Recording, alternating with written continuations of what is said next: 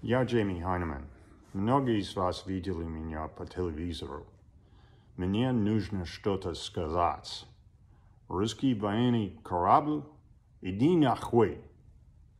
Russian soldiers? You know what? You should just go home. Just go home. You know what you're doing is wrong.